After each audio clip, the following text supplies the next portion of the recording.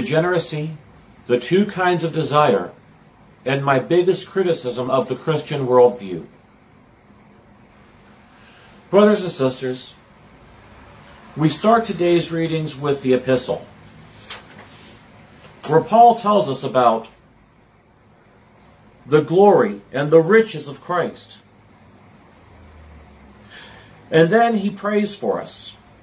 He prays for us that we will, found, we will find a firmly rooted charity. And that we and that Christ will dwell in our hearts. And that we may be strengthened to comprehend the length and height and breadth and depth of Christ's love which surpasses all knowledge, that we may be filled with all the fullness of God.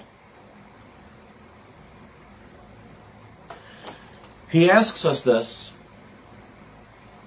so that we may be with given knowledge. We may have empowerment and we may have enlovement. I've spoken before about power, love, and vision and the relationship between all three. How love without power makes you resentful and bitter and loveless. Power without love becomes nothing but blind ambition. Love is a limiting principle on power. And how knowledge or vision directs both love and power to its proper end. I've spoken of this. And here, Paul speaks of it too, in different words, but in greater detail. I want you to put that in the back of your minds as we continue on this talk.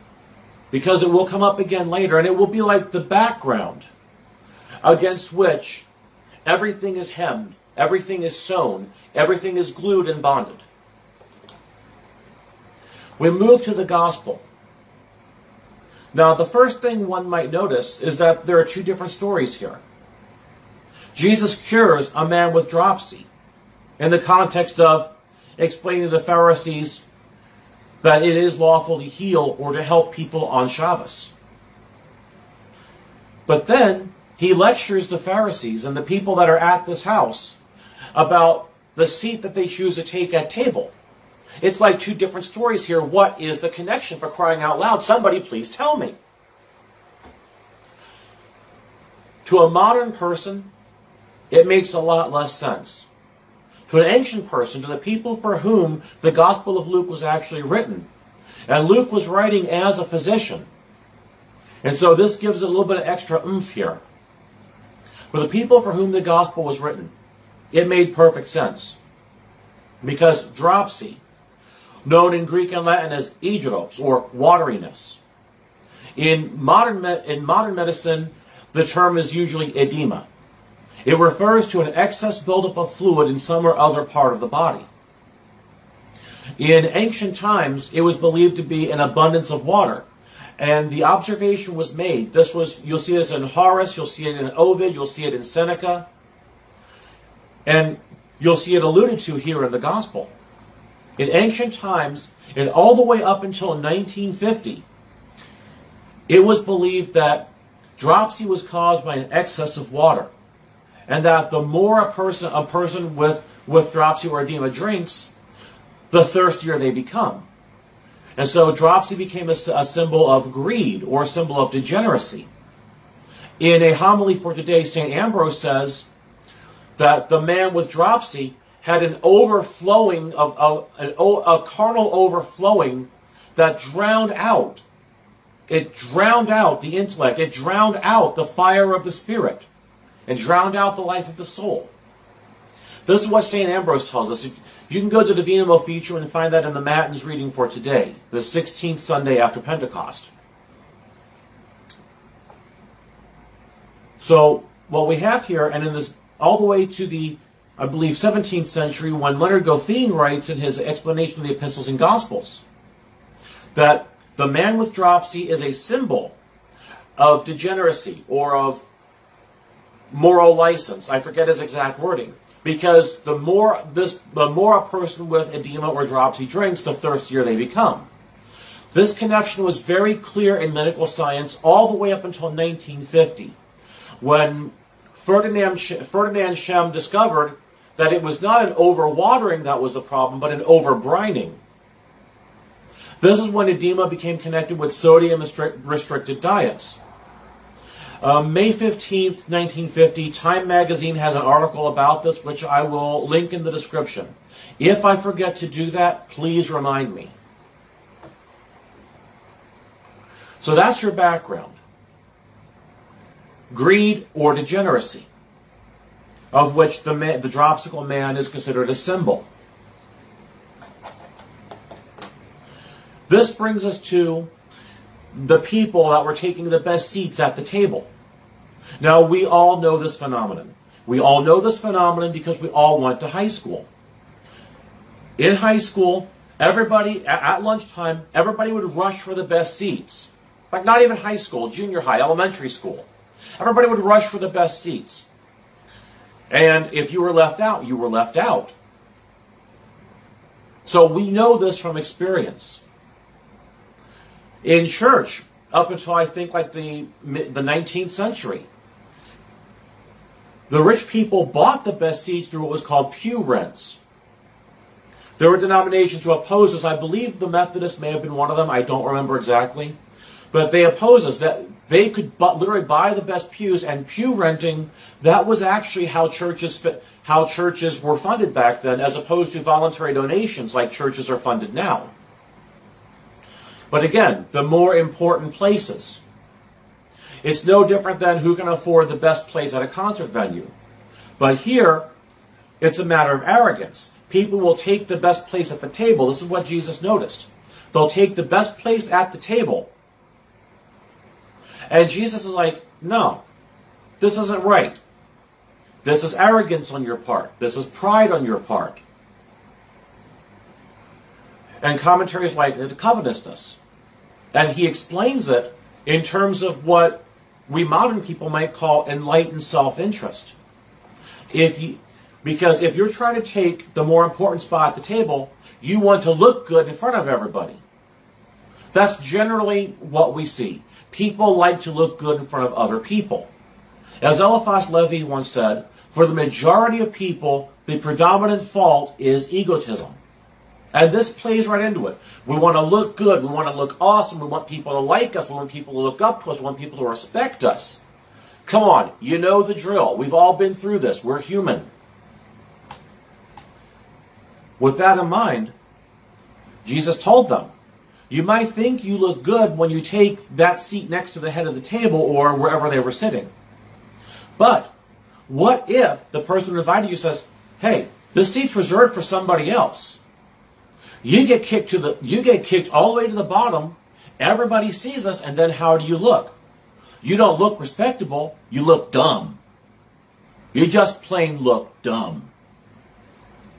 So rather than arrogating your, to yourself the highest part of the table, or the most important part of the table or of the sitting sitting area, take the bottom. Go to the bottom. You go to the bottom, and then let somebody come and invite you. Hey, sit up higher. Now, I find it interesting that Jesus was talk is talking in with the parable of a wedding feast here. Well, with the metaphor of a wedding feast. Yeah, metaphor is a better word.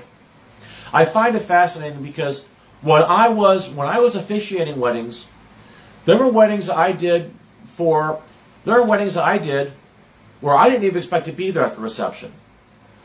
Okay, when you're the officiant, receptions don't always work out that well for you, even when you're friends with the bride and groom. They don't always work out well for you because they tend to be turned in on themselves. Okay, it's like the party, it turns very inward. Anybody who's a stranger to the group or that is just not like super in with the group, you tend to get ignored. Yet there are weddings I've done for people I barely knew where I was invited where I was invited to sit at, at the bridal couple's table. Then there were weddings I did for close friends where at the reception, I ended up just sitting at the bar.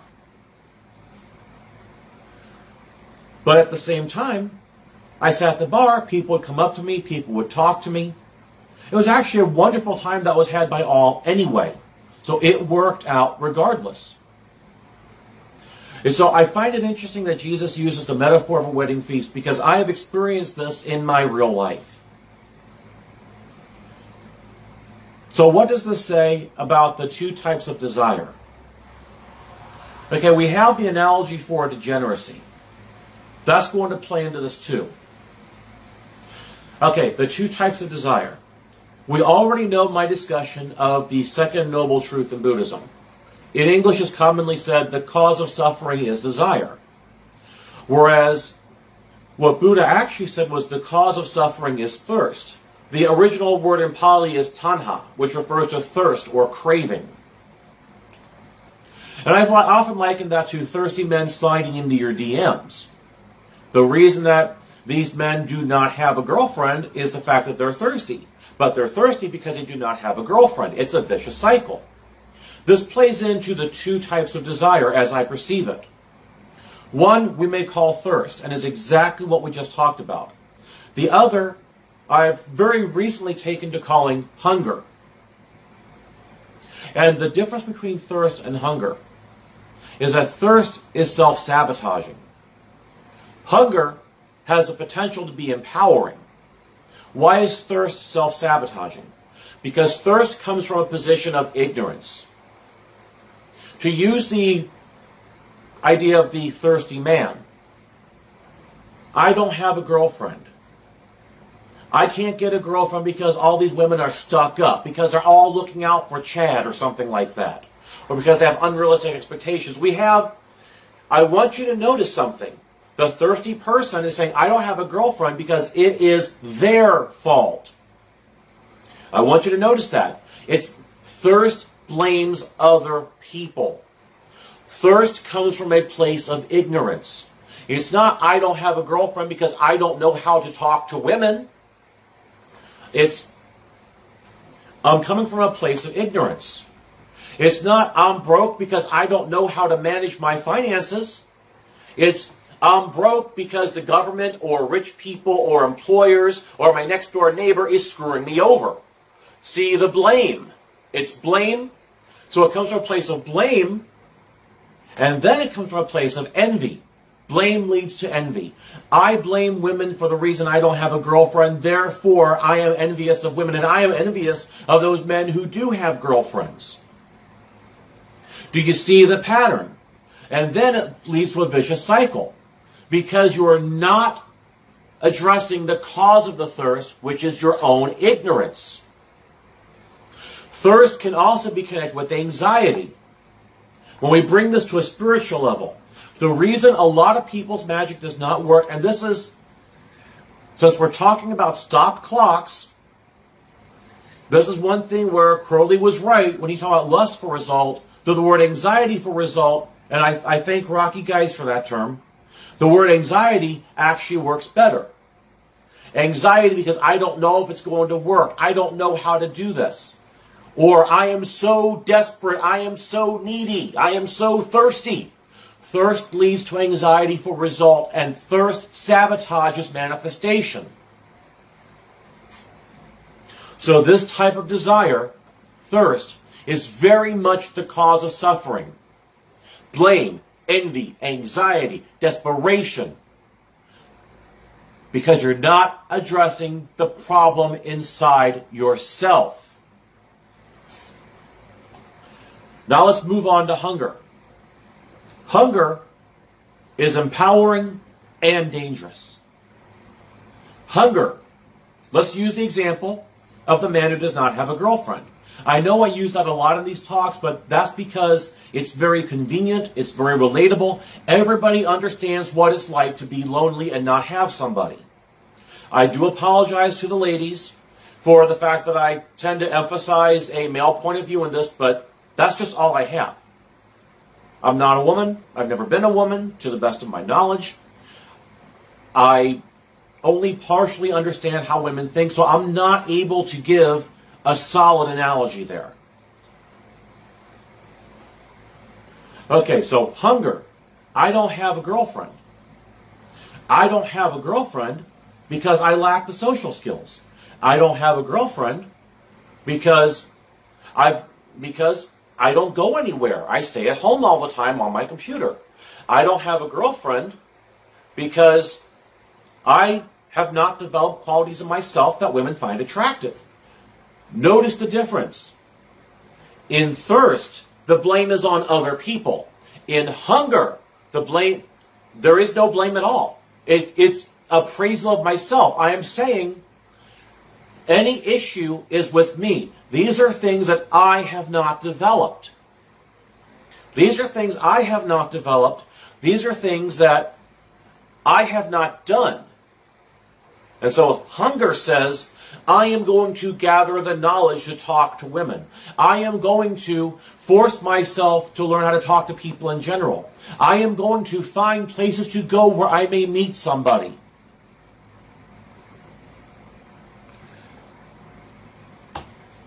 And yes, you notice I talk about meeting people in real life. I don't talk about on, online online software or apps or whatever. Because my entire experience was back in the days when you went out in person on Friday or Saturday night.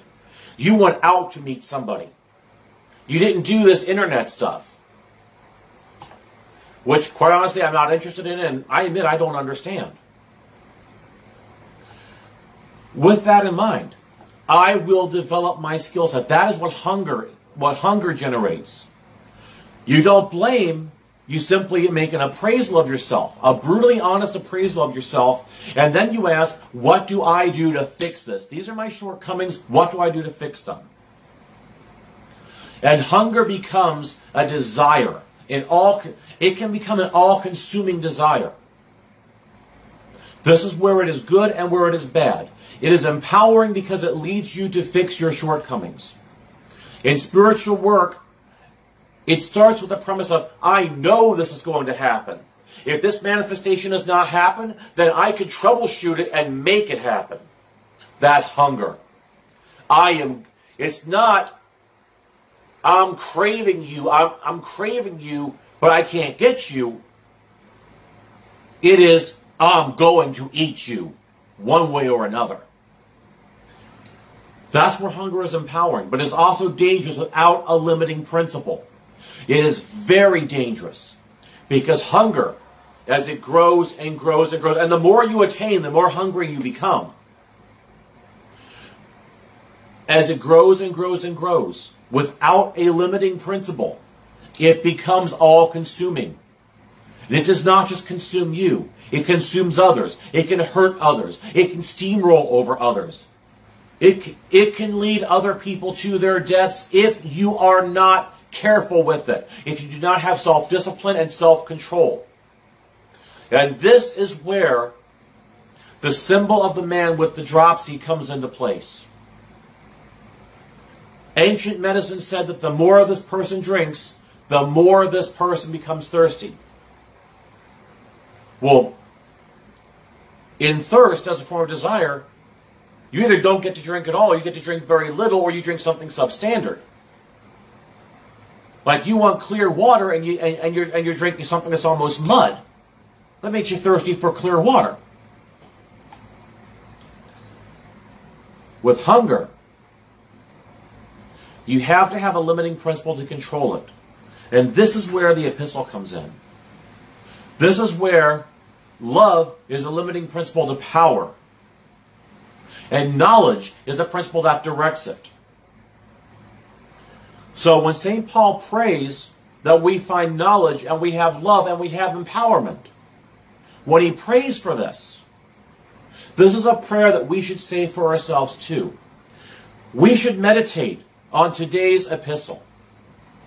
Not just today, not just on the 16th Sunday after Pentecost, not just on the weekdays following, but we should make that triad of power, love, and vision. We should make that triad a daily meditation throughout our lives.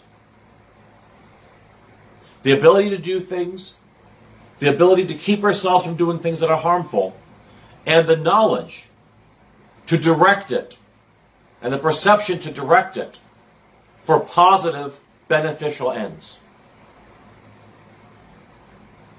Yet, everything we just talked about today, it leads me to my my one criticism and perhaps my biggest criticism of the Christian worldview.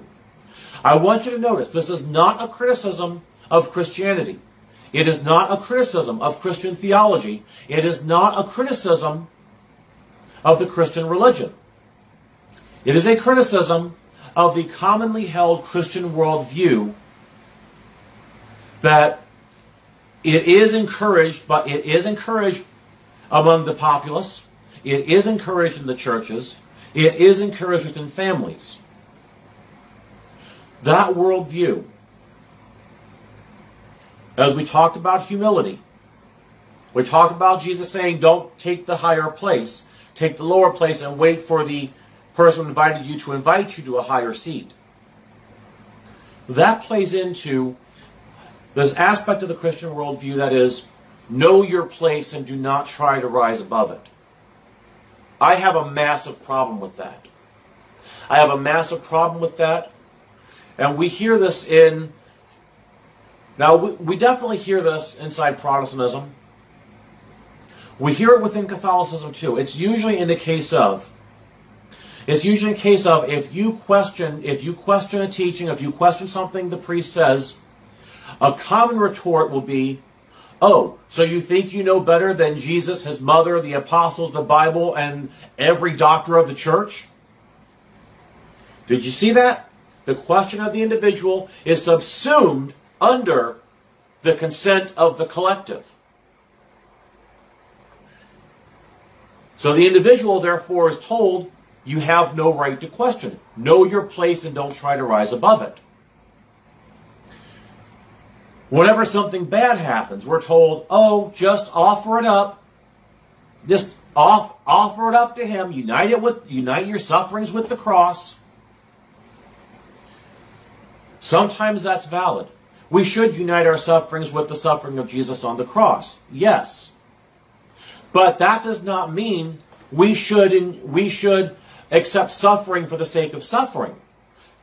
It does not mean we should not try to mitigate our suffering. It does not mean we should not try to overcome what is causing our suffering so that we may be free of it. Do you see where I'm going here? The whole idea of know your place. And I'm not the only person to say it. We're speaking about stop clocks. Karl Marx was a stop clock. But he was only right once a day, and the one thing he was right about is the full context of religion as the opiate of the people. What he actually meant by that was that religion distracts people from distracts people from seeing their true condition. It teaches them to know their place and not try to rise above it. Now again, every his his I, I see him as an unoriginal hack. He ripped off Hegel. He ripped off the he ripped off the what were the other things? He ripped off Rousseau, he ripped off Hegel, and he ripped off the dominant notions of materialism that were present at the time. This is why he was condemned by literally every pope from 1849 up to 2005, except for John Paul I, who was only in office for 30 days, so he didn't get a chance. Okay, but since we're talking about quotes that are taken out of context, religion is the opening of the people, that's actually right because people are distracted in knowing their place and not trying to rise above it. We can turn to another, another quote that's taken out of context. Nietzsche, God is dead. How many times have we heard people, usually neo-pagans or atheists, quote Nietzsche as saying God is dead? The problem is that's only half the quote. It's in context of the parable of the madman where a madman is running around shouting that God is dead. People don't like hearing this. But the quote is, God is dead and we have killed him. And he's not talking about there being a lack of a deity. What he's talking about is there, what he's talking about is humanity has removed God from their consciousness. What will we do to replace him? What will we do to replace religion? That's what Nietzsche is talking about. And the idea of know your place but do not rise above it also plays into his concept of slave morality, which is what is taught from the pews. Know your place. Don't rise above it. Embrace suffering for the sake of suffering. Empathy to the point of making yourself a doormat. And that one is something that the enemies of Christianity have very successfully latched upon in order to neuter a once Christian society. So what we are seeing here is a complete a complete course of what is wrong. Something that should be jettisoned from the Christian worldview. Now, understand your place. Yes. Know your place in the sense of understanding it. Yes. Understand where you are. Make a realistic appraisal of where you can be and strive to be there. Whether it is success in business, job promotion, success in relationships. Just because you are single and cannot get a girlfriend does not mean that God has called you to be an incel. That's not a calling. It could be situational. You may live in an isolated area where you just can't meet anybody. And I do firmly believe that the best way to meet people is in real life rather than over the internet. I very firmly believe that.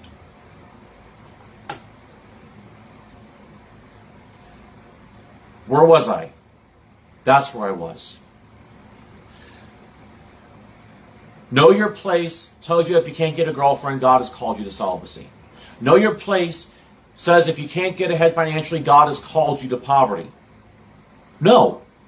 God has called nobody to celibacy or marriage. God has called nobody to poverty or wealth. God has called nobody to any of these conditions. In fact, both St. Ignatius of Loyola and Eliphas Levi say we should form in ourselves an attitude of indifference, of detachment to these various things. When I was praying the rosary one day, and I was meditating on the third joyful mystery, the Nativity, I heard a woman's voice saying, Indifference is power.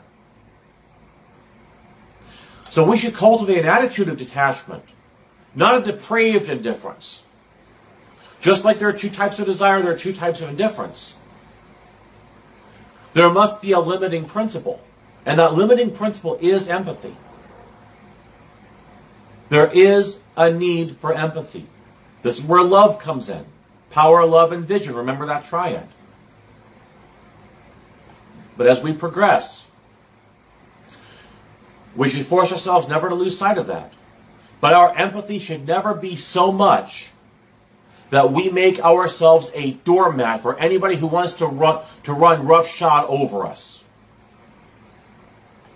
That is the teaching that has hurt so many churches, that has cucked so many believers,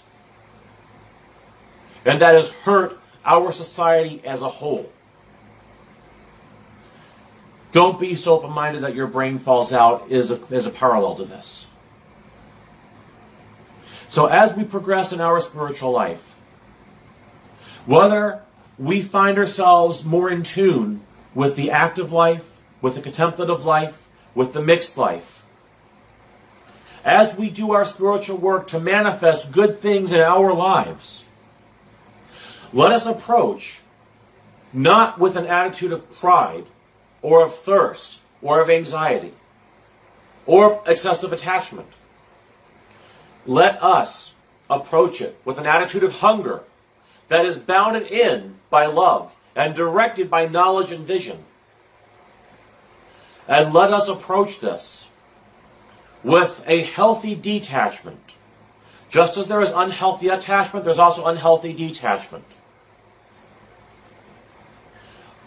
Unhealthy attachment makes you a stalker. Unhealthy detachment makes you a psychopath. Please keep that in mind. So with a healthy level of detachment, we move forward. And we will find ourselves growing in everything that we want to grow in. Because that is the nature of the universe. That is the nature of the world around us. And that is the nature of human interaction with one another. With that note, I leave you. With that note, I would ask you to think about this throughout the week, the various things we've talked about. And may the peace of God, which passeth all understanding, keep our hearts and minds in Christ Jesus. Amen.